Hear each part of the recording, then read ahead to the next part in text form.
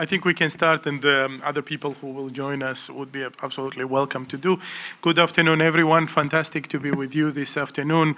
Uh, and together with my uh, good friend Steffen Ousdal from the Interpol's Innovation Center, we will be moderating this uh, panel on trust and security, building trust for use of AI for law enforcement.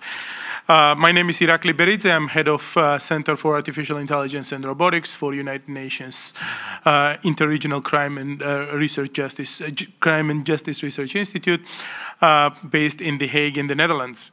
Right? we have a very long history of cooperation now with Interpol, and we a couple of years ago started a very unique platform on use of AI for law enforcement risks and benefits uh, related to this technology, related to policing, related to crime prevention, criminal justice, rule of law, and ethical application. And uh, well, first, um, global summit, which we uh, co-hosted together at the Innovation Center in, um, in Singapore in 2018, brought together uh, many representatives from the law enforcement agencies where we started to examine how this technology can be used by criminals, uh, how this technology can be used by law enforcement, and how to make sure that uh, we will drive all the benefits out of it and minimize the risks which are associated to that.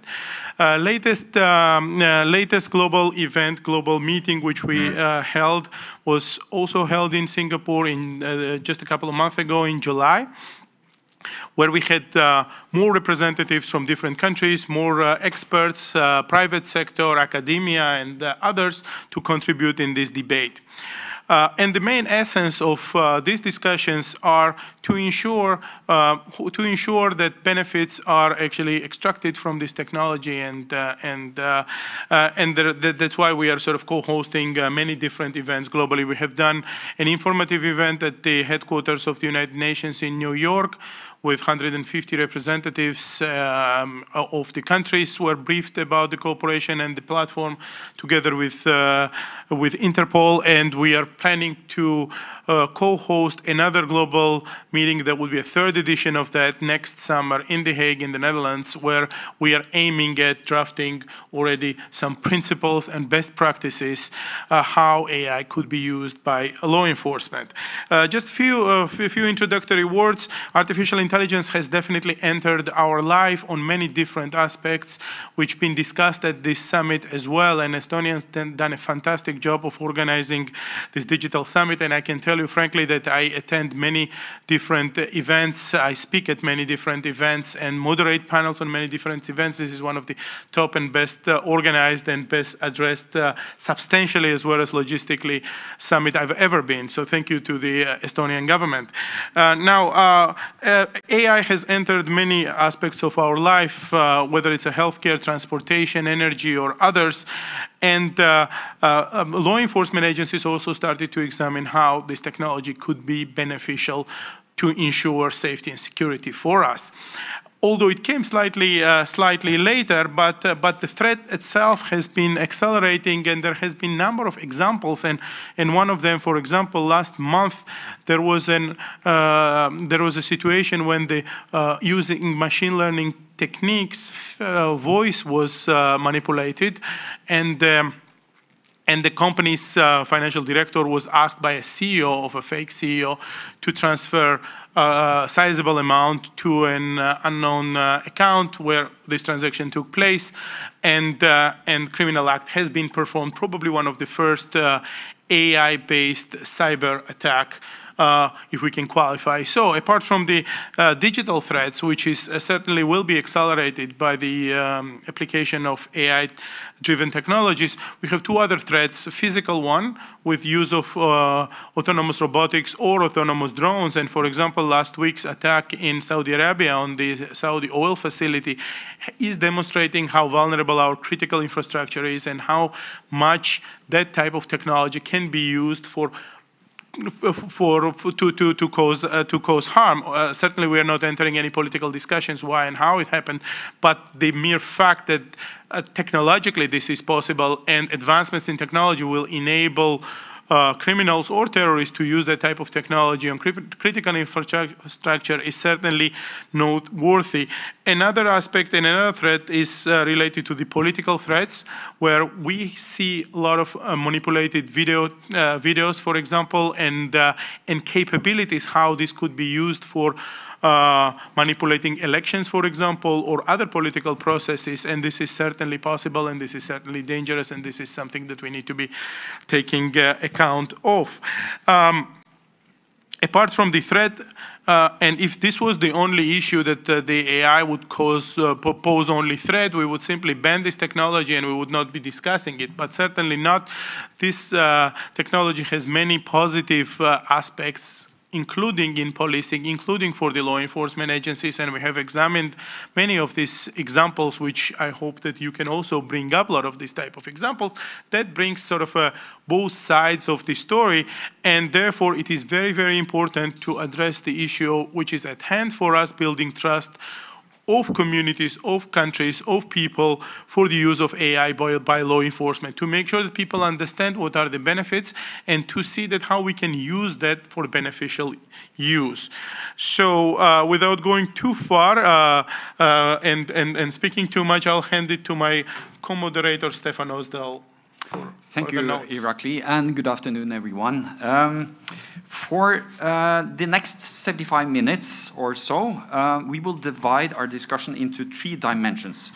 Uh, first, we will address the topic of malicious and misuse of AI. We will discuss how AI expand the scale um, uh, and ca can further complicate the attribution of specific attacks um, and how it can, uh, as I said, ex expand the scale and efficiency of crimes. Uh, the next, next topics, uh, we will discuss the widespread of AI in law enforcement. We will discuss several AI technologies, uh, domains that have been tested and even implemented in law enforcement. And we will also address popular use of AI in law enforcement, as well as areas that are still a little bit underexposed. Um, third, we will discuss on the why and how law enforcement build trust in the adoption of this emerging technology. In partic particular, uh, we will clarify the concerns and controversy surrounding the use of AI in law enforcement, such as the black box problem in AI decision making, bias in algorithms, and probably also over expectation of what AI can do for law enforcement. And together with us, we have some distinguished panelists. And uh, let me introduce you, uh, you to those. Um, on my left side, we have Ms. Nathalie Smuha, a lawyer and assistant lecturer and, researchers, uh, and researcher from the Faculty of Law uh, in the University of Leuven. Uh, and she was also previous coordinator of the uh, European Commission High-Level Expert Group. Um, and on my right side, uh, Dr. Bente Skattør uh, from the Oslo Police District of Norway. She's a senior advisor ICT and also project leader for the Oslo non-intrusive surveillance project. You will probably say a little bit more of that afterwards.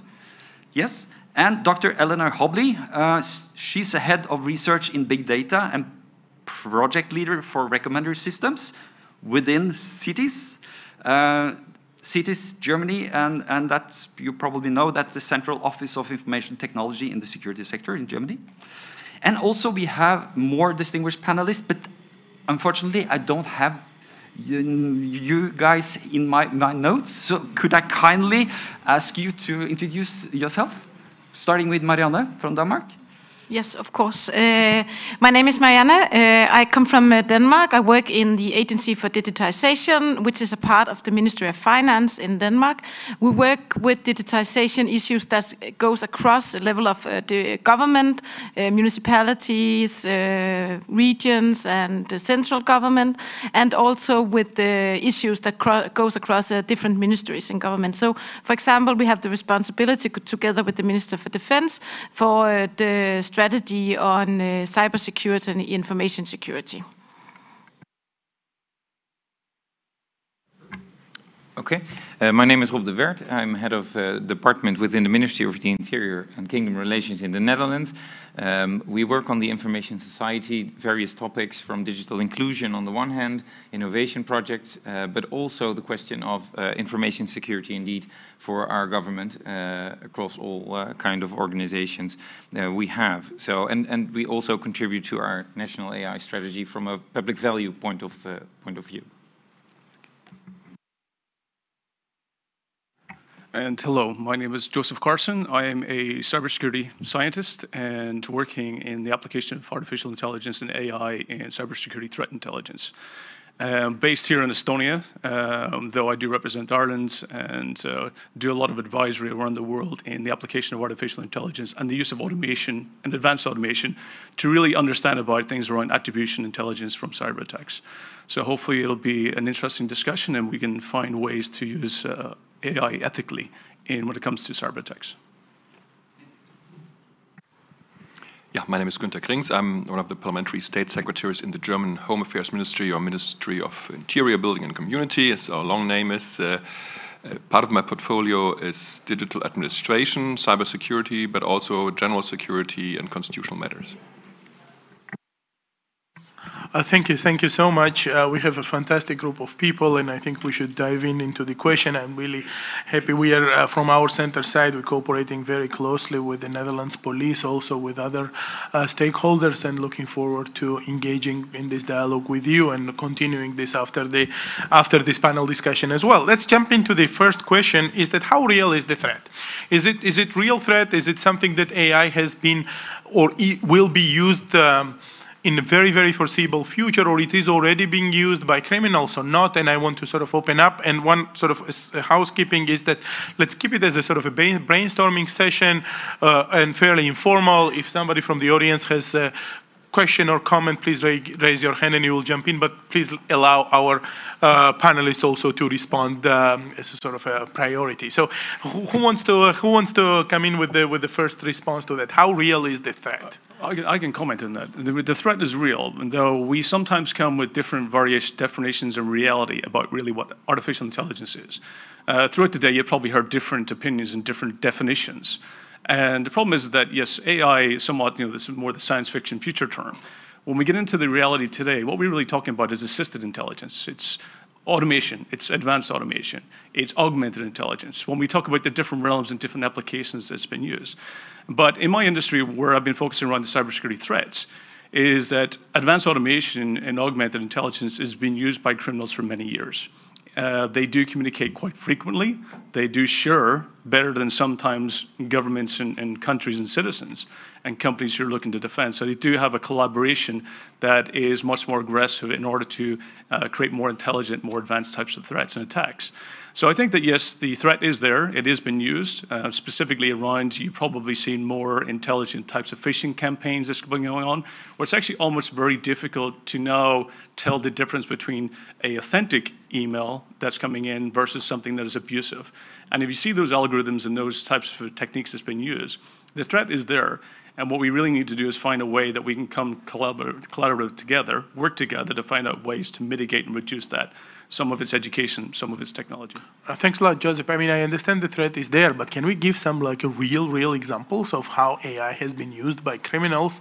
Because we've been struggling in, like, I understand that, okay, we have different definitions of AI, and I'm not going to get into the how to define AI at this stage. I mean, to me, the AI is a mimicry of our cognitive abilities of solving problems. Or uh, uh, so, uh, do we have a real examples like Bente? You are um, from the um, uh, real law enforcement police organization, Oslo. How do you evaluate that? In, in Norway, I don't think I have seen any real um, evidence that it is due to the AI, use of AI, but we know, I've at least read from, from foreign countries that they have deep fakes, where they actually uh, do criminality in order to, to fake pictures and movies, uh, which is uh, not good at all, because it have a sexual flavor. So uh, deep fakes, we know, uh, has been, um, been. But uh, we should expect that also the criminals, because they are really innovative, they are creative, and they are also uh, mean. so they should, and they probably also have a good bunch of money sometimes in order to go for the attack. So, uh, but they maybe are doing more to camouflage it yet. But cyber attacks, I reckon they are quite much on uh, using artificial intelligence without being in, uh, very good in that. Uh, so uh, no, th th thanks so a lot. I fully agree. I mean, I fully agree. what I yeah. defined in the beginning that all the digital, physical, or political threats are there, and we've seen all the evidence that this is being or will be used. But yeah, that's what I was trying to extract. That yes, that but we are at the cusp probably that it will sort of as a tsunami will come and start challenging your uh, organizations more and more in that sense. Uh, Rob, you wanted to comment on something? Uh, it's just an anecdote. Um, a few days ago on the national news on Sunday at 8 o'clock, a large portion of the nation watches that. A reporter just uh, made a good example of a movie of our prime minister, and he moved his mouth, the reporter, and the prime minister spoke the words in his own voice as the prime minister. Uh, he was assisted with the professor, etc. This is the projection was that in a few months this was available on smartphones in apps, and you have the apps where you can put your face in, an, in a movie scene or something, which is in China now used, very, very popular.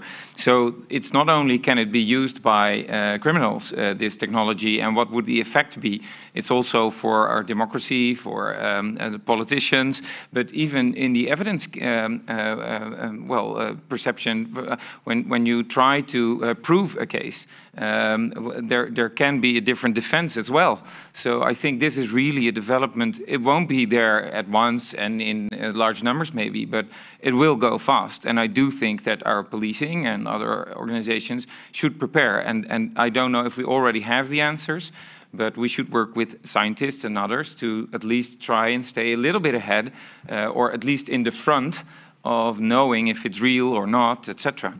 Uh, so that's really, um, um, I don't know if we can have an example today, but uh, I'm sure tomorrow we will fully agree with you, and this is the type of stakeholder cooperation which, uh, together with Interpol, we are promoting and bringing together all the, or most of the law enforcement agencies to share their experience, start the concrete projects, and some of them has been kicked off at last our last meeting in July, where number of uh, police organizations, including the Netherlands, actually they concluded an agreement with the Australian police, and they started a very innovative project on that. Uh, anyone else wanted to comment? Yes, Eleanor.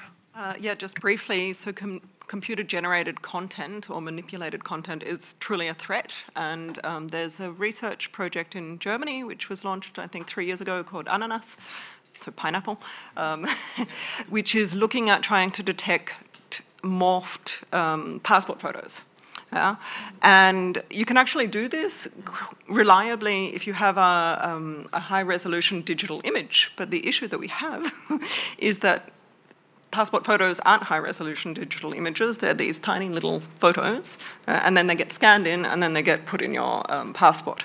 And you can't reliably detect morphing um, on these images, even though I think it was the University of Bologna showed that up to eight people can use one passport if you just go on the biometrics of that. So if you morph an image, you actually change the biometric data and then use AI to detect that. The AI is used to morph the image. Um, and so that's a real threat in terms of identity. Um, and I would say it already goes on, but we don't have the systems to detect this reliably. And because we don't have those systems, we can't make reliable statements about how frequent misuse or abuse of AI systems in that case are. So I think um, looking at computer generated content where image analysis is already very far, far advanced, um, but not just image, we should be looking at text and audio too. We really need to be on top of detecting manipulated and generated content from computers. Thank you so much. Yes, definitely that uh, uh, you sort of uh, also proposing some of the solutions because of if, if not if we are not detecting these occurrences, I mean we would not know and we don't maybe know how much it's been used and what should be done. Nathalie wanted to comment also. Yeah, I just maybe wanted to add that, you know, I, I can't give a concrete example, but I think there are issues that we can already anticipate by the few examples that we did already here, like the deep fakes, like the drone attack. Um, I think that, first of all, the fact that these crimes will be able to be perpetrated on a much larger scale, potentially.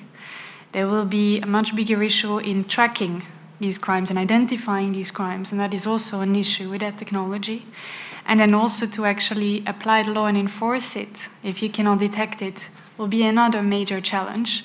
And finally, then allocating responsibility to the actual person who is the perpetrator behind it. So all of these issues we can already anticipate, even if we don't, you know, if we're not aware of the widespread use of that, it might be still under the radar, but this is something that we already need to prepare for, like others said.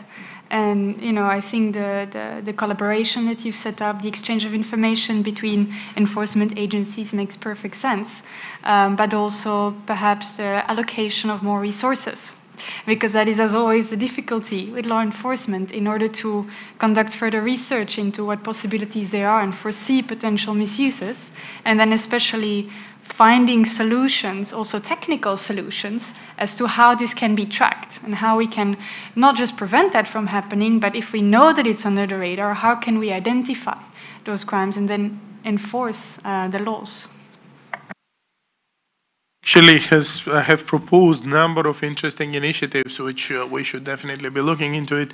This was kind of a next question what actions should be taken from our side? You've proposed resource allocation co collaboration and some of the identification techniques which is uh, extremely important especially resource allocation and collaboration on international level.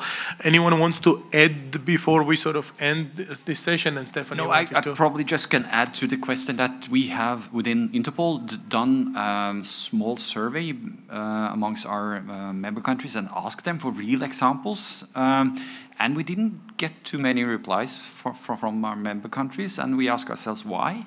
Uh, other than the obvious one that's really known to the media.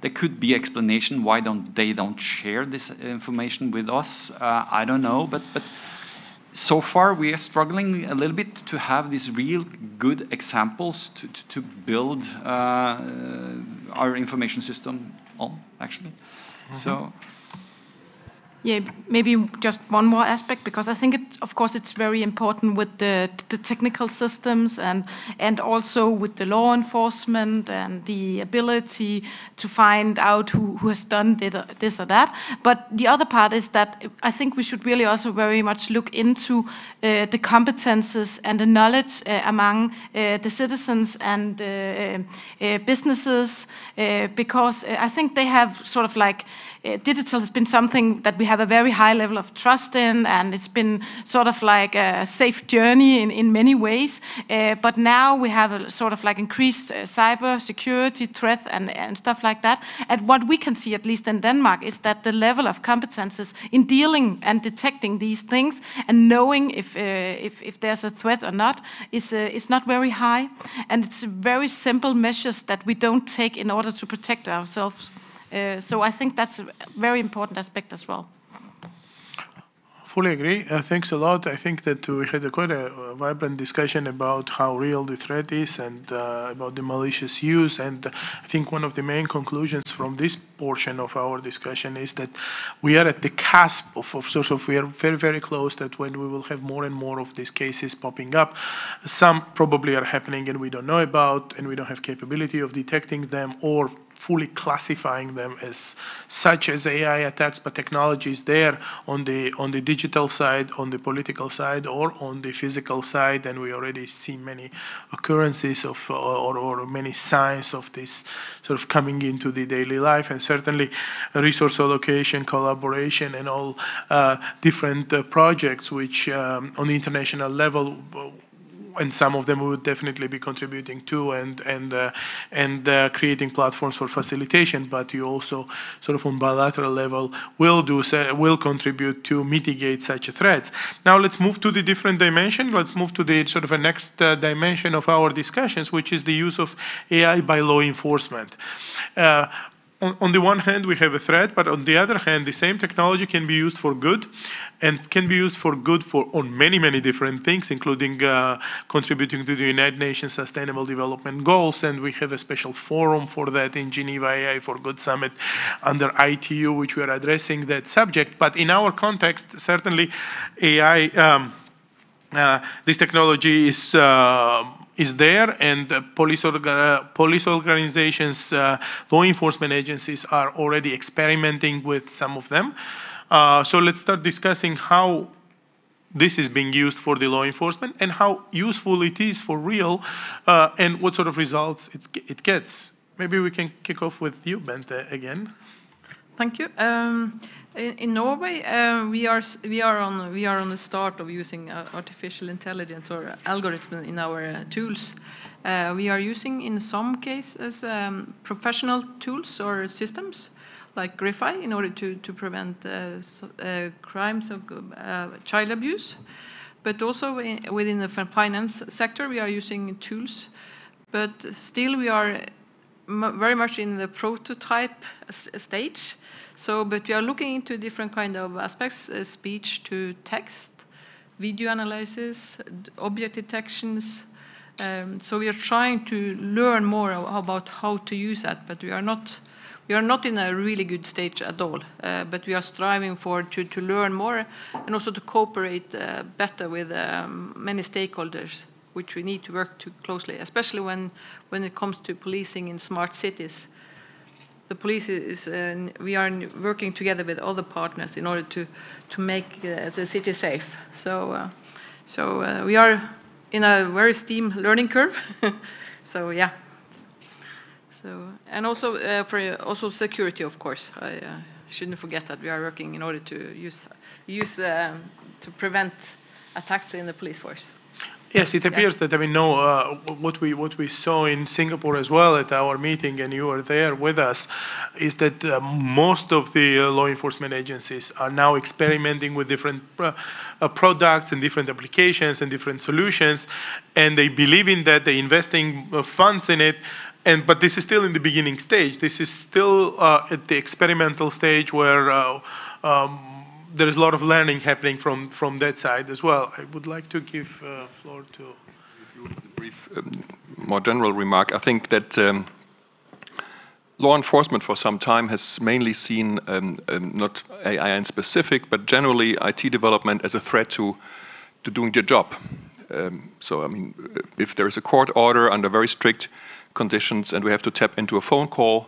Um, it's not an easy procedure, but once we have it, we have actually a duty to do it, to detect a terrorist plot, to go after a, a, a possible, or to, to, to see whether somebody uh, who's convicted of, of or alleged, uh, assumed to be a, a, murderer or something, we can get the proofs that we need to, to bring to justice. So, and now, of course, they detected more and more, you know, the headline going dark, that people are smart enough to use um, voice over IP to, uh, to a phone call, not using SMS, but using messenger service and so on.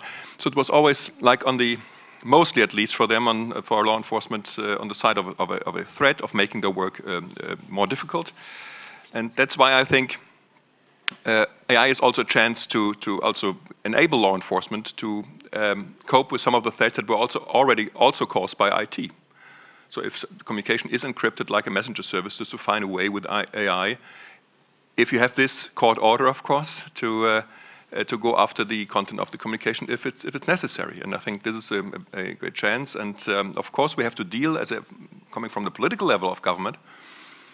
Uh, maybe at least already a little bit to the third dimension of our discussion, um, that people on the same time um, sometimes the same people assume we can't do nothing. We're like very bad in digitization, our, our administration, and so on. But the same people assume that we do all kinds of sinister and, and dark things, uh, infringing with their human rights. So they kind of give us credit at the same time for doing nothing and doing everything.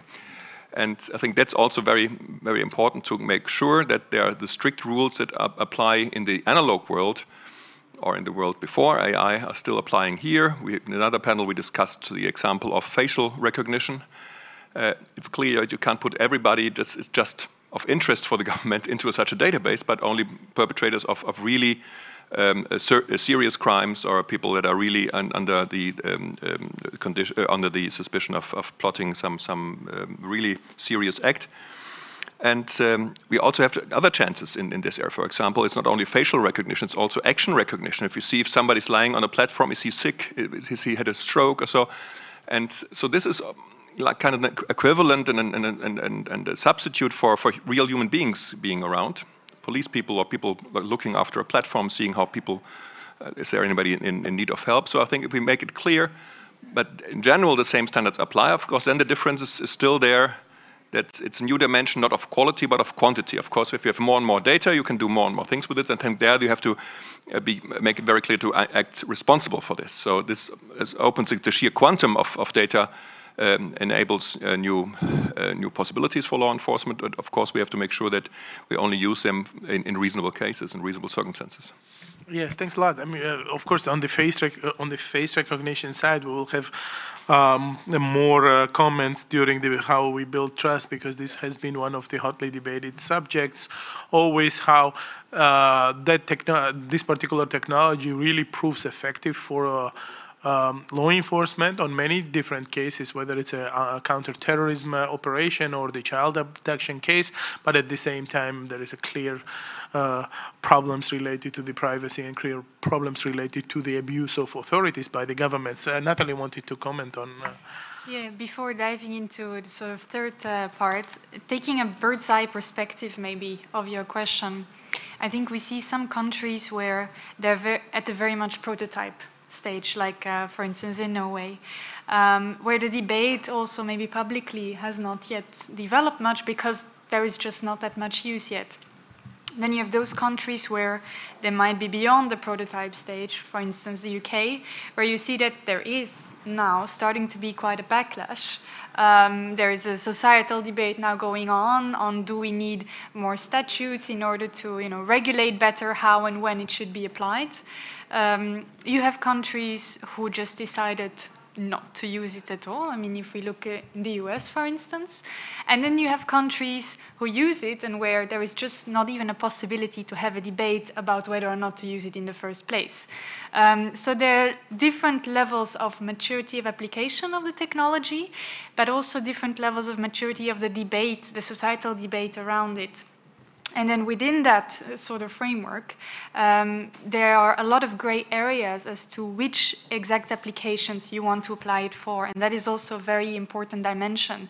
It's not because you start using AI systems into your law enforcement program that you do that automatically for all different types of things that you can use it for. You can be selective in that and, and try to apply it for some things and not others. And I think generally the, in discussions like this, we're at the stage where we, we bring this forward and try to see what is the best approach of these different levels of, uh, of maturity. Steffen, you wanted to comment on? Yes, it brings me over to to um, to, a, to, a, question I asked myself this morning. Was you know this uh, keynote speaker this morning talked about taking more risks and be at the forefront, and also in within law enforcement agencies they there's a saying that we, the police, need to have the latest tool, always be in forefront of, of the technology, and so on and so on. But does the statement th this morning uh, really apply for law enforcement? Should we be in the forefront? Should we take those risks as law enforcement agencies? Uh, I would like to hear your comments on that. Um, I've been working with innovation for, for many years in the business market, uh, and uh, taking risks comes with the territory. Um, I, some companies even celebrate their mistakes, but I think that will be hard to do within the police force. Uh, actually, maybe provoking. So, so we also have a culture issue within the police because um, because we can. I, I, strongly believe that we can do innovation in a more smooth if you put it towards the research. But when it comes to out in the street or out in the digital space where we actually do operation, we need to be very thorough and very ethical and be very strong and, and good. So, so we have obviously a sincere challenge in, in, in order to, to um, keep up with the speed and also make things happen.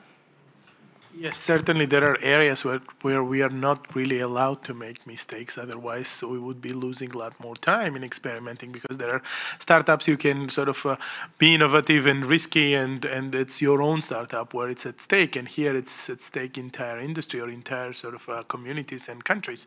Eleanor, you wanted, and then. Uh, yeah. Okay, sorry. I just, in terms of risk, I think it depends on really the case. You always have to look um, at each case individually in law enforcement because every case is individual. Um, so, for example, in Germany, AI is starting to be used. Um, if you're all aware of the Panama Papers, the Federal Criminal um, Police actually used AI combined with rule-based systems to help their analysis of 2.6 or 2.8 terabytes worth of data because they had to sort through that amount of data, which is a very large amount of data, and look for only um, files that were relevant to German jurisdiction because obviously, you know, they can't go after people in the Cayman Islands. Um, and in order to do that, they actually have some really good experts who are very knowledgeable in natural language processing and can train models for that particular case so that not some blanket AI algorithm, it is a specifically tailor-made algorithm that is used just for that case. And they can also examine the outputs, look at the context, and then use rule-based mechanisms combined to just narrow down the scope of, of the data that they have to look through because 2.8 terabytes of data is massive. That's not something that humans can, in any reasonable period of time, actually look through. Um, and so that's a fairly low risk case. Um, and they did a really, really good job of it. I think they deserve a hats off for it. Um, and then there's, for example, the field of child exploitation material, which is a very high risk um, uh, issue. And I think if you were to say, um, as Microsoft announced this morning, they've got a research program in um, conjunction with North Rhine-Westphalia. They're going to look at using AI to identify and classify uh, child exploitation material. Because that's so high risk, you can actually say, well, well, we need less reliable models in that case. We just want to get as many hits as we can. We will verify all the hits, but if we have some misses, it's not that tragic. Obviously, every single miss is tragic, but it can really ease um, police work on an everyday case-to-case -case basis. So you always have to look at the risks and the gains and the individual case when you're looking at the application of AI within law enforcement agencies. Yeah, absolutely. So just to kind of comment on a few points, as one of the uh, Günter had mentioned earlier, I think when you mentioned about the volume and uh, the amount of data get, getting gathered, uh, in my um, kind of background in research, it's more about the accuracy. I think it's uh, less data sometimes is better when you've got higher veracity and better accuracy in the data itself. And to go back on, on Steffen's point about should law enforcement be taking risks, I think it comes down to evaluating the impact. Uh, if you evaluate the impact itself, then because we're here talking about trust, and if you want to maintain an establishment of trust between society and law enforcement, then law enforcement has to be right most of the time, and especially in cases where it has high impact. So when looking at risk taking, you should always assess the impact itself into whether it's going to impact your stance on trust, because the last thing you want to do is degrade trust with society. So that should always be the, the basis of, of the decision making is what's the impact of that risk taking. Um, going back to some of the points that you just mentioned, I think one of the clear things is that absolutely when we look at artificial intelligence, one of the things that I always get into is that we have lots of data. And the challenge we always have is that what's the questions we want to ask it? It's not about what can we do with the data, is what do we want the value out of it. And I think that's what we really need to get down to is what's the right questions. Is the data necessarily doesn't need to move. We don't need to be sharing data. We just need to come up with agreements about what questions we want to ask. Because I can ask data in different countries the right question and get the information back. Doesn't necessarily mean to have the entire data set. So that's what we really need to get into is understanding about what are we wanting to achieve and which direction and path we want to go down. And that's hopefully from the trust in the uh, risk taking, hopefully that gives you a little bit of uh, industry insights. Yes, certainly. And uh, oh, uh, Nathalie and Rob. Yes, yes, you're waiting for a while. So sorry about that. Nathalie, please. No, no, not a problem. I think there's something that Günter said in an earlier panel um, that is very important is that if you cannot take the responsibility for it, it might be better not to do it at this stage. So that's maybe a first thing. And that goes together with the fact that in our you know, uh, democratic societies, law enforcement uh, agencies have a sort of unique position because we give them the monopoly of violence. Um, that means that there are some higher standards there uh, that need to be respected. Uh, and then maybe jumping in on something that Joseph said, a lot of times, because AI is also being hyped, uh, you have this, this stage where people say, well, we have this data or we have this thing, what can we do with it? Rather than first asking ourselves, what do we actually want to achieve? What are our priorities for enforcement? Can we go after the big fish rather than using data in order to go after small petty crimes and then perpetuating, for instance, poverty? So AI is not always the best solution for the things that we want to achieve. And we need to, you know, it's chicken and egg, but we need to first identify the priorities that we want to achieve. Yes, thanks a lot, Nathalie. I really like your interventions because you always come up with the proposals like prioritization of the data now, and we have all my bullet points for the concluding remarks. You're filling it in there. So, uh, excellent. Uh, Robbie wanted to say something, and then. Uh... Well, well, yes. In, in effect, this is the question about can a government experiment? Yes, and uh, of course, this is a special sector. You have uh, higher standards. That's true. What you also should do is a good public debate about uh, what is allowed, what is not allowed.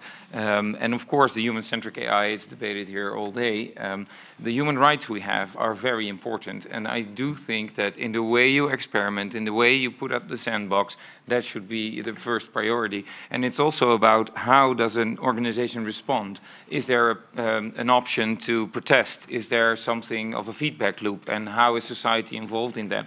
And I think that if you include these parts, then the experimenting has, has more um, possibilities. And the second thing is we should not just experiment, hey, what can this technology do for us? We should have use cases, and these goals will guide us. And then you will build up uh, in what way you want to experiment. So um, I, I, I, think that uh, experimentation is important um, because uh, in the end, uh, the expectations of society are uh, accordingly. That that also law enforcement should uh, should experiment, but with boundaries and safeguards. Yes. Certainly. Yes. Thanks a lot. Yes, just just uh, just a comment from my side, and then we'll sort of move into to it as well. Is that as far as the use cases, we have been examining a lot of use cases uh, on our uh, platform as well, and on our um, uh, global meetings, and there has been a lot of interesting use cases from different part of the world as well, and some of them very useful ones. Uh, like Japanese police have uh, come up with some very interesting detection technologies, and as well as many others there, which we will be including in our upcoming upcoming report, uh, which will be coming out sometimes in October by the uh, Interpol's General Assembly. It would be a joint UN uh, UNICRI um, Interpol report on AI for law enforcement. So please, gentlemen from yeah. Germany. Maybe first remark, I think I didn't want to suggest that, that I, I advocate getting more and more data for, for, for its, the purpose in itself. I think it's, it's uh, necessary to withstand the, the temptation that more data is always better. And I don't believe in this uh, famous quote of our American colleague, um, in order to find a needle, you need first a haystack. That's, that's uh, if you can have it without a haystack, it's always much better and much easier, uh, much easier to do. But I think the, the, the question we were, were discussing here for the last minutes, do we have to be forefront or are we not allowed to do this? I think it's a real dilemma. In, in, in one sense, yes, uh, we have to be on the forefront because there's nothing as uh, as dangerous and, and as terrible as to only prepare for yesterday's attack.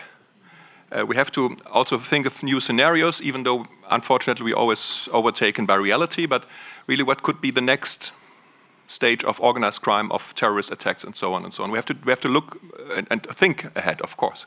On the other hand, other side of the dilemma is uh, in, a, in, a, rule of law system, uh, our legislation has to be narrowly tailored. Just because we can think of a threat, it doesn't mean that we can already um, uh, legislate new powers uh, in this case. So it, it's a, always a, a, balancing approach again, also here.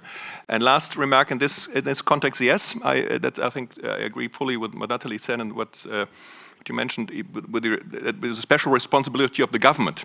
But fortunately, with the special responsibility, there also comes, I believe, maybe a little bit old-fashioned here, also a special sense of, uh, of duty that, that, I expect of every government official. And it's actually enforced. You know, uh, I don't want to, uh, since I'm partly also one, uh, I don't want to be rude to any government official, but I think the one thing dearest to them is their pension it's very generous in Germany, the pension for, for, for government officials. And nobody will risk this just to look into another file where they are not allowed to, uh, to read into it. But unfortunately, we see a tendency, in Germany at least, maybe also beyond, to withhold certain techniques, certain IT tools from government because they might be misused. And I, frankly, even though sometimes it's supported even by our constitutional court, I don't believe in this strategy. I think we have the law as a limit, and the law will be obeyed by government officials. And if they don't, all these terrible consequences are there, including losing the pension. So I think we should really trust our legal system that we define what you can do with a certain tool and just not um, shy away from developing tools that, that have a, a reason to be developed. Uh, thanks a lot. I think that we are now smoothly sort of moving into the our third dimension of discussion, which is the uh, sort of core of uh, what we are here for, is how to build trust in the use of AI for the law enforcement. And let's just spend a few minutes about uh, identifying what are these uh, existing concerns and controversies surrounding this issue. Obviously, there are some really low-hanging fruits, which I hope that you will sort of all identify. But let's go a little bit deeper there. I mean, what are the real concerns? What are these society, uh, so how societies are worried about it, and and uh, and later on we will address what we should do, be, uh, what we should do about it. Eleanor, you want to start off with that? So I think in Germany I can safely say that there are people who are concerned about Germany be, be, re, uh, regressing to being a surveillance state, and that is something that Germany has um, experienced twice now and I, I myself would also be concerned to be living in a surveillance state. So that's not something that Germany wants, and it's not something we're wanting to set up. And I think I fully support Günter when he says if we're going to use something like um, facial recognition or biometrics, it has to have very narrow and important use cases. So I think that's a really good point that was made. Um, and because Germany has a history of having made some very, very poor decisions politically and gone through some very bad systems, the people in Germany are rightfully yeah, are rightfully concerned about uh, reverting to that. And so when they think of AI, a lot of people think of biometrics and facial recognition, so they view it as a potential threat. Um, and I think if we want to build trust, which is also part of this last dimension, what we have to do is communicate our use cases quite specifically, communicate the limitations that we impose upon ourselves within these use cases, come up with systems that are auditable, that um, essentially can be reviewed so that we can prove that we are doing the right things and say, all right, this is a really limited application that we're going to be using, um, and we're doing it for your benefit because we're trying to catch serious criminals or terrorists and not because we're interested in the guy who maybe, I don't know, pickpocketed or something. Uh, uh, minor crimes, well, as, yeah. No, so. do them either. No, I am not going to, don't worry, your wallet's safe next to me. Yes, yeah. uh, uh yes. Uh, uh, I want to ask actually Nathalie, she's a uh, co-author of the EU's trustworthy AI guidelines and one of the sort of drivers of that process for last year and a half, uh, where EU um, uh, actually drafted very comprehensive guidelines. And maybe Nathalie, you can tell us about how e Europe in general and uh, EU as an institution in particular views these issues and how public they are perceives threats and what is it that we can do about it. Yeah, so the, the guidelines that we developed with the high-level expert group are general or horizontal guidelines. So they don't only apply to uh, AI being used in law enforcement, but broader. And the idea is that then they are tailored to the specific context or use case in which they are um, applied.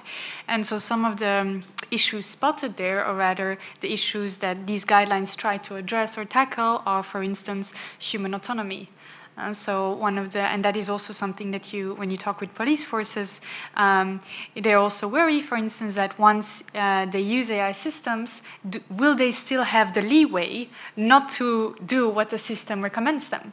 Because the moment that they don't uh, do that, they will have to justify why they do it differently, and that brings a lot of questions of responsibility.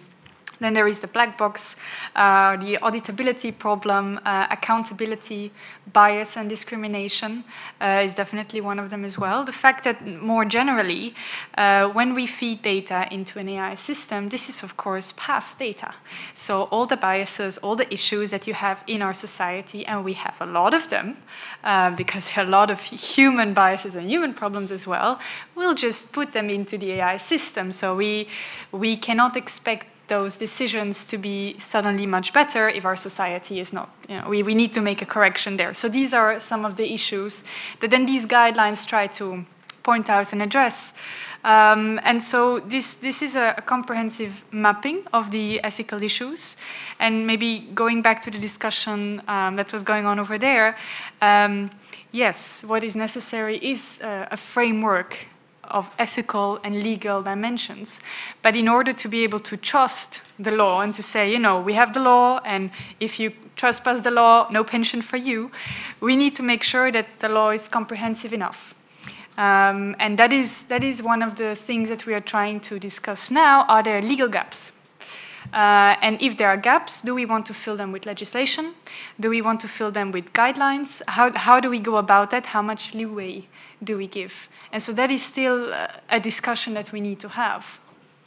Yeah, thanks a lot. And I, uh, I, we will be sort of picking up on that, but, but prior to our next uh, global meeting in The Hague, I think that all these discussions which we will be ha having will contribute towards that and we'll feed into it before we will draft something what I already sort of informally called the Hague uh, principles of use of AI for the law enforcement. And I think that you would fully support the Hague Sounds principles. very good. The Hague principles. Hague yes. principles.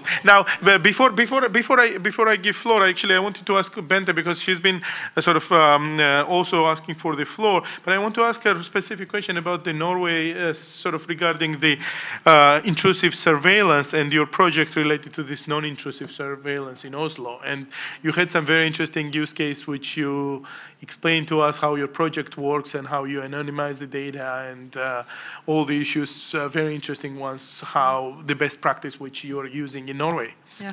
Uh, thank you. Um, it's actually uh, trying to cope with some of the questions Eleanor mentioned about surveillance and how to cope with that because this is also, at least in Norway, a minefield if you don't do it correctly. And, uh, and we also have to think about the diversity of the citizens because I'm on duty to make Oslo a safe city every day for the citizens. So I need to take care of that. And the citizens, when they are having a huge diversity of understanding how they think it should be, I need to, to, to know more about that. So we need to work with the citizens, and uh, we are trying to look into whether we can do anonymization of the data of the surveillance cameras, for instance, uh, and maybe also sound.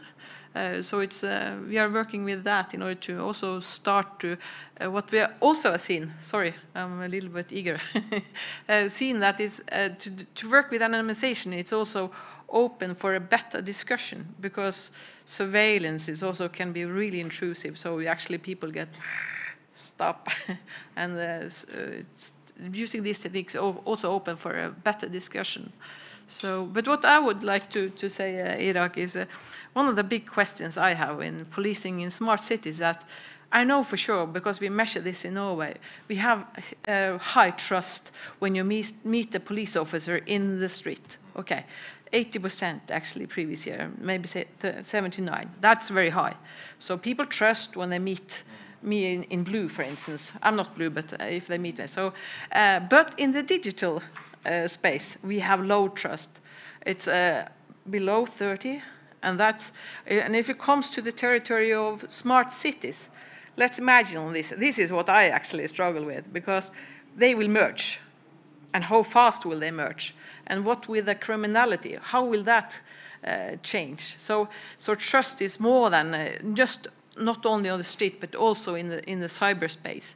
So I, am convinced that they will intervene, and, uh, and if you are low, have low trust in that uh, digital space, and that is taking more power uh, or space, we have problems. So, and, yeah. and, core of our debate is that how to build that trust, how yeah. to ensure that I mean some of the trust is sort of which is yeah either legitimately um, uh, there is a legitimate concern or there is a hype or a myth related to that. I mean to make sure that this is sort of the, the hype is diminished and the reality is portrayed. Uh, if we had slides, I would really show how you anonymize the data, how you put these really beautiful cartoon characters on the head of the uh, of people and uh, faces. But but we will do that next time. I think, uh, I think Joseph. Yeah, Joseph. Uh, just ex expanding a little bit on what Nelly was mentioning, I think it's important that um, you know to build trust it requires multiple areas. Is one is that you know uh, when we're looking at artificial intelligence and the use and application within law enforcement, it's important that the actual law is applicable to everybody. There's no exceptions. There should not be exceptions because therefore you create this separate classification that is not applicable to certain areas or is applicable to this. So it has to be applied to everywhere. What's one of the key areas? I think as you mentioned, some of the keynotes and, and the talks today has actually covered a couple of the major important areas is accountability, is that we all have to be accountable for the actions that it actually implies. The other important uh, part is how we communicate it. is the communication. A lot of times we actually leave the communication, the message to the end, where actually should be something that's actually up front. And going to what Rob had mentioned earlier as well, transparency. It, a lot of the decisions has always been industry passing information to, to government and then it disappears sometimes and we don't hear until later. I think it's important that we have a two-way communication for citizens and government so that we all actually understand transparency about how it's being applied, those specific use cases of how it's actually been adhered to, what the boundaries and limitations are. That's the foundations of building trust. If it's a two-way communication, there's transparency, and also there's ability to actually question it. There's ability to respond that why was those decisions made? What was the outcome? was there some type of you know uh, that you can actually go and, and, and, ask for basically transparency? So I think it's important that trust is built. It's not just basically assumed, and that when we're moving down this path, that there has to be cooperation between both citizens, industry, and government in order to make sure that we have a trustworthy system. Yeah, I can, I can, can continue on, on this. Um, I think the question of trust is related to the other question of how proactive can we be, should we be. I'm not sure how many of you know the movie Minority Report. Probably most of us. I actually didn't see it to the whole thing, but the idea was it's very crazy that people get arrested um, for a crime they might do because AI probably has, has told the police this person might develop into a criminal, might do and do this and this crime. So this, of course, uh, is, is, a, it's a threat scenario and a terrible scenario for everybody, for all of us. So I think the solution might be, if we want to build trust, to find ways, what you mentioned, to take the trust that the police has and deserves in the physical world. I think even our numbers are even higher in Germany than 80% into the digital world. And that means that we have to make the case that what we do digitally is kind of not a new dimension, but it's aiding what we do physically. So the police has more eyes when they have cameras. And these cameras are, that's what, at least what we do if we have, uh, to very small degree, cameras in public spaces, normally are not just indefinitely recording, but there are some police people monitoring this, uh, this, this, video screens, and it's erased after 24 hours in most cases, and so on. So to make sure that it's really an, a, a, a, natural um, um, um, improvement of, of what you can do physically, because you can have um, maybe a policeman at one side of, of, a big train station, but if you want to also go see what's, whether there's a um, incident on the other side, it's maybe helpful to have a camera there. So I think to have to do it really in a, in a sensible and, and not too overbroad broad way. And, and also I, I agree perfectly that there's another dilemma coming up with between secrecy and openness of police. Of course, police don't like that their methods of, of investigations are up, up there in, in, in, the open, and then criminals can kind of adapt to them. But to, as, to, as far as it can be done, responsible police has to be more open. So it's really a balancing approach again. So you can't tell all your secret recipes, of course, that would be terrible for police, but to be more open. And sometimes I even argue when, you, when I go into parliamentary question, question hour with our, with our departments, can't I tell a few things openly to at least explain our policies? Because I think we have to explain on the political level, but also to the citizens more than we maybe have had to do like 50 years ago. And it's we can't you know give away all the, the methods of, of working, but we have to be more open, as, as open as it's, as it's possible. Eleanor. So you, uh, talking about trust, we've been talking a lot about how we need to build trust uh, from the citizens or in the citizens in the methods that we use, but there's another dimension to that, and that's that we need um, our law enforcement officers to be able to trust the systems they're using, because in the end they are accountable. Um, we do have human oversight, and I think that's a very important dimension that no decision uh, which has been enabled or supported by an AI system is independent of a human. There's always human oversight. But um, everyone who works with AI knows that AI has associated uncertainties. So sometimes you might get, yeah, 99%, that's this person on a face or this object is a bicycle, and you can easily check that. But with more complex systems, um, for example, natural language processing, where machine semantics differ from human semantics, you can't easily verify that. And yet the human at the end is the one who's accountable. So there is a bit of uncertainty, not just in terms of how our citizens perceive what we're doing in law enforcement, but also in terms of the officers themselves being able to trust that the system they use is sound and that it also will be sound before a court because that's what it comes down to. If we go to a court and want to bring evidence, we need to be able to say, all right, this is how I derived that evidence, this is the path I took to get there, and I'm accountable for this, and this is supportive evidence. And um, when we get positive hits, for example, if you were to detect child um, exploitation material, you can verify that. But you can't verify your misses if you're searching through tens or hundreds of thousands of videos because the reason we're using AI is to try and take down our workload so that it even becomes manageable. Um, so we need to understand that and communicate that not only to society, but also to the officers who are interacting with AI systems.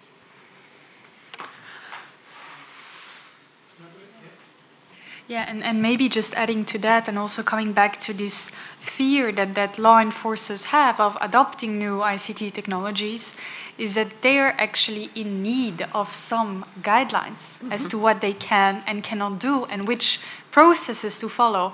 And that means not regulating necessarily the technology or the algorithm as such, but rather what are the steps that you need to take in order to minimize as much as possible the risks that we all just discussed. Because once you have this sort of framework, you feel much more secure to operate in that space. And you know then also what the consequences are if you need to assume responsibility. Whereas right now this question of responsibility and what happens if i don't listen to the ai system it's out in the open. So yeah, yeah, yeah.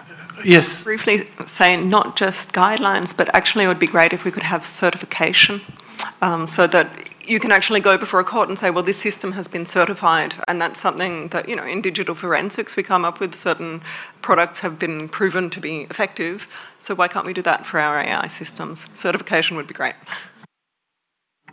Yeah, just an additional to, to some of the topics we're discussing. Uh, one of the things I find in, in at least the industry I've been kind of focusing around cybersecurity is we tend to talk more about our failures uh, and we tend to have that as the main focus point and tends to be the one that's grabbed by the media all the time. We also need to talk more about our successes. We need to talk about where we've done well, where we've stopped, prevented uh, crimes from happening. And we don't tend to do that well because we tend to want to keep it, you know, within the boundaries. Uh, so we do need in this industry to to build trust as well. Is we need to talk more about the successes when we prevented crimes, when we actually mitigated, uh, you know, criminal activities from happening. That's what will build your trust as well. When people know the system's working and it's actually benefiting society certainly the success stories always motivate and always provide extra incentives to do more. And uh, I fully agree that we can do things step by step as well, creating principles, after that creating guidelines and uh, going deep dive into it and creating certifications also, which would be extremely useful as well. Uh, and that's what we are intending to do from our side as well. And uh, our uh, Dutch colleague fully supported the Hague principles, which I like the sound of it as well. Um, we don't have too much time. I want to open the floor for the audience as well, and then we will have time for the panelists also to come in and uh, make their conclude, concluding uh, remarks or anything else what they are uh, have. So we have I don't see this side, so I see a lady over there. Do we have a microphone? Maybe we can hand in. Oh, yes. And please introduce yourself before asking a question so we know who you are. Sure. My name is Dr. Salma Abbasi from the eWorldwide Group. I was on this morning's panel of AI and law. I think one of the most important things, uh, I, I, agree with everything that people are saying now, but there's two points. No, number one is that trust has to be earned. We can't build trust. And so how do we do that? We actually have to work with community. And as, as I think the, the colleague said earlier, that there's only so much information that can be shared. But as much as possible, if we pick, and I like, Eleanor, the benign crimes, um, it, it's much more easier for us to disclose this information as law enforcement agencies at a community level to start earning the trust i.e., if we pick topics of, child exploitation, sexual harassment, uh, and, and, then we move in the direction of the violent crimes. In England, we have an issue of gang crimes, and it's a growing number. But what we're using technology for with the, let's say, the, the Home Office is to map where the crimes are occurring. But as we take that data and share it back with communities, then they begin to feel the trust that, okay, this is going to help us be proactive and save the lives of our kids. That positive thread helps build the trust, I think. Thanks. A lot. Uh, uh, you wanted to comment or? Uh?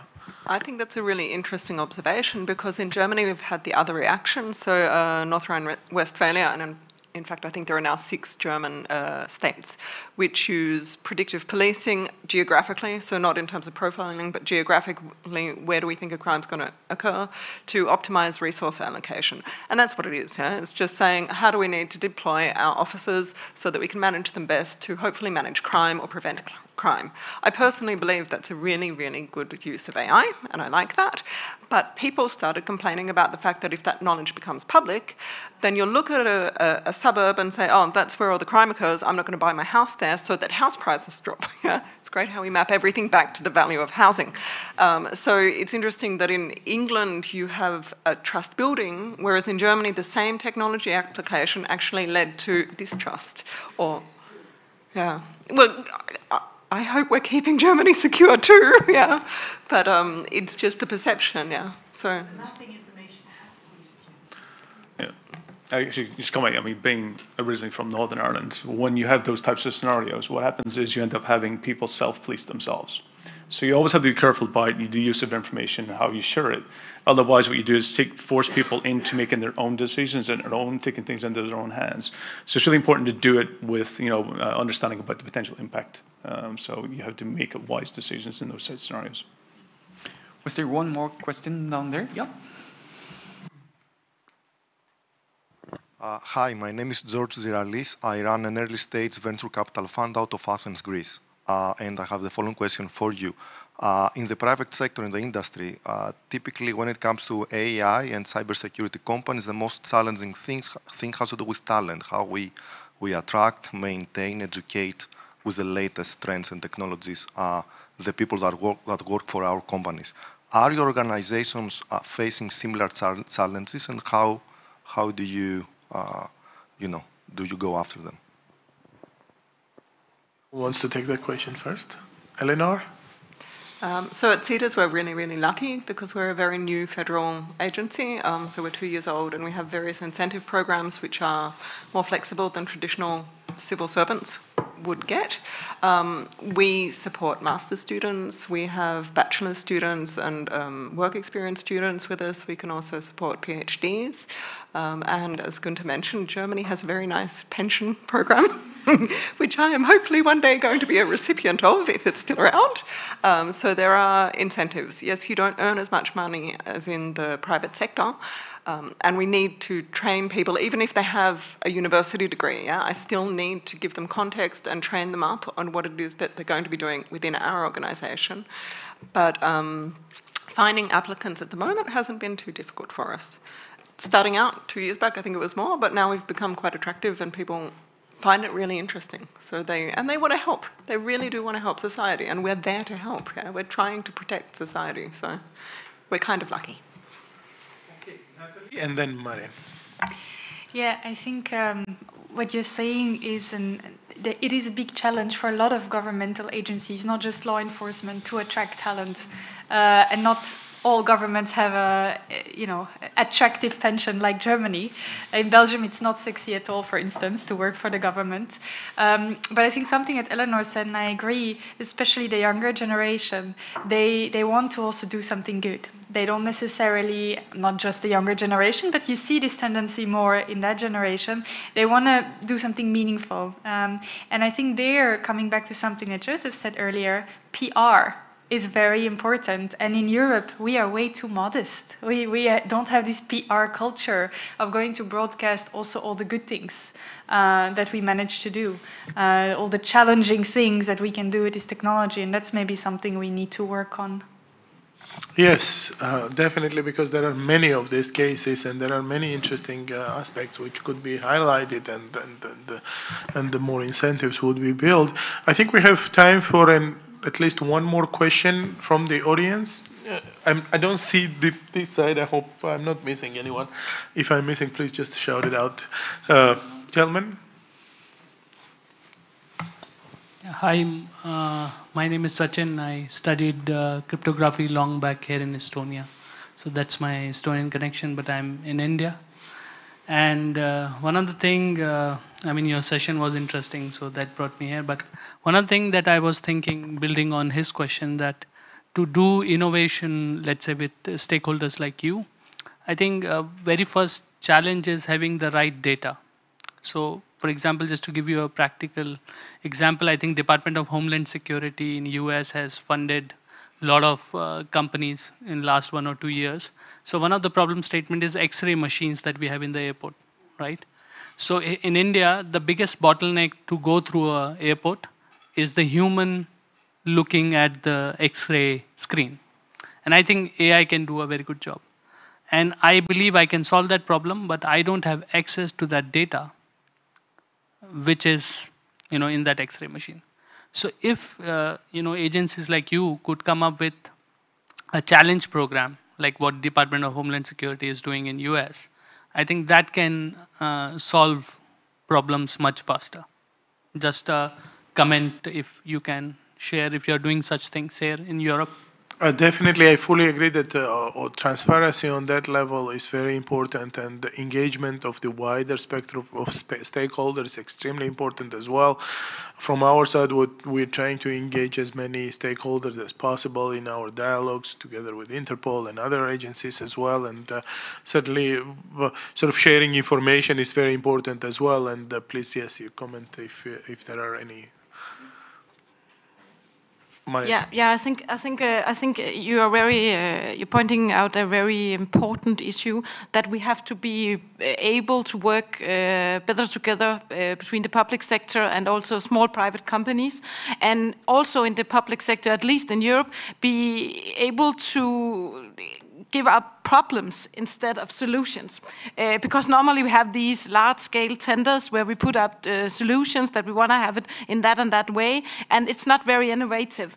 And uh, I think we should instead put out uh, our um, our challenges and let more, uh, not only small-scale companies, but also uh, people from universities, from research, and help us with our challenges in the public sector. And in Denmark, we're just trying to do that in, in a very small scale right now, sort of like a, call it a GovTech program. But uh, I think I think we'll see more of that in in the years to come. Could, uh, just a quick remark. Um, um, um, because I'm looking at the watch now, but but Interpol is, is currently building a collaboration platform where we can communicate with industry, academia, and law enforcement agencies, where you can uh, actually the law enforcement can can can uh, submit uh, problem statements so, so we can have uh, a place to, to, to communicate, and uh, we're providing this um, in the next two years, probably. Uh, we've been launching this platform, but I can uh, give you more details about yeah. that. So can I just have a quick comment? So uh, thank you for giving your valuable insights. I was in Sweden, uh, you know, earlier this year, and one of the public hospital innovation manager was saying that they have data in health context, and they can use the data to buy AI tools, right? And he was saying, I need to change the law somehow that I can do public procurement with data. So I think when you start thinking hard about data, so data is your asset, data is your currency, and if you are public agencies and you want to, you know, uh, stimulate innovation, all of a sudden that data also becomes money, you know, not in the money way, but you know, Let's quickly, and then we need to conclude, so I will make uh, a... I would just like to comment on the fact that in the law enforcement context, we have to be really, really, really careful which data sets we give out to the private sector. Because if you know anything about AI, you know that the pretty much one of the biggest things is GANs, so generative adversarial networks, which attack models that you know. Now, if I hand out my data, I'm giving you the ability to create the model that I created, because if you optimize correctly, we'll come up with the same solution, more or less, which means that you can then come up with a GAN, which will attack my model.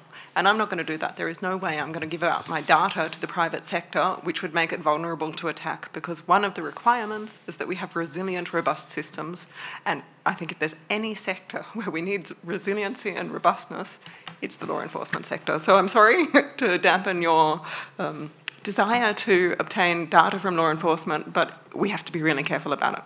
On the other hand, when it comes to ideas, challenges, I think they're a great idea.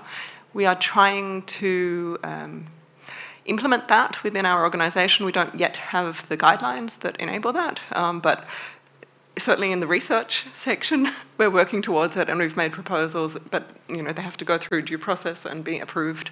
I'm hopeful that we'll get there. Uh, thank you so, so, much. I think that we're going to conclude now. We had a fascinating discussion. I think that uh, after this one hour and 25 minutes, we are all wiser and we have matured even more, and and the debate has, has become sort of elevated on another level as well. And uh, and this information which has been exchanged uh, within this short amount of time has will be very useful in uh, translated, translating into very concrete actions. Right, right, in conclusion, what I would like to invite our panelists uh, is in one or two words, just, just one or two words to say, what are these concrete actions we should take to earn or to build the trust for the use of AI by law enforcement? And you can volunteer who wants to go first because others can think about this one or two action points. What are these action points? Rob, you want to say or first? certainly we, we should take human rights as a, a focal point. Uh, we should um, take these uh, human-centered AI concepts and translate them into system principles. Human rights that. and human-centric AI. Uh, yeah, but, but translate that into system principles together with the community. System. Because that really builds trust together with a big debate. Okay, thank you. One or two words. Irakli, I, I, know you're um, really ambassador for AI for good, and uh, what we have not discussed or mentioned here today, I think, is actually we could also because police also um, not only fight criminality, but we also try to self and help vulnerable people. So, so we are working with scenarios that we actually would like to use at, uh, future techniques in order to help vulnerable people, uh, because that will also build trust. Because that is also our, our part of our uh, of, uh, of our duty. so yes. help vulnerable people. Help vulnerable people. Eleanor. I think we need to look at the whole life cycle of AI and its implementation in potential um, law enforcement and ensure that we build resilient, robust systems, that we're transparent about the use cases that we use them for, that they are auditable so that we can prove that we have accountability. And that's a really good way to ensure that communities will trust us with what we're doing. Martin? Uh, maybe just adding, being being good at communi communicating and showing the good use cases and good examples. I think that's extremely important. Okay, so if there are two things that I need to limit myself to as action points, I think first of all it's education um, within the police force, so educating them about the possibilities of the AI systems and then the risks that go along with it, but also the broader public. And then secondly, um, taking these AI ethics guidelines uh, that we created and now tailor them, apply them to the different use cases in law enforcement and really map out what does that mean concretely for an AI system in law enforcement.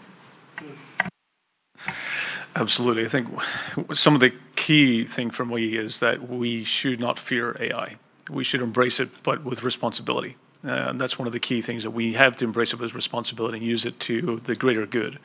Um, but to some of the points it's made, I think it's really important that one is that we focus on the prioritizations. We all collaborate to, together to agree on what is the right, what, what's the right questions to ask in order, what is the, the value we want to get out of it. And at the same time, I agree that communication of the success is one of the key factors to actually making and building trust. Uh, thank you so much. I think we had a again fascinating discussion. We have discussed uh, many issues related to the how real the threat is, how law enforcement is using, and how law enforcement has the potential to use it, how to earn and build the build the trust, and how important it is to um, to to build principles, and based on the principles, build build more concrete guidelines and and uh, even certifications. How Eleanor used it, we will definitely take this into account in our discussions and debates and and trying to control, will try to uh, translate it into concrete actions. So thanks a lot, and let's upload to ourselves, and uh, I welcome uh, debates and discussions after this session.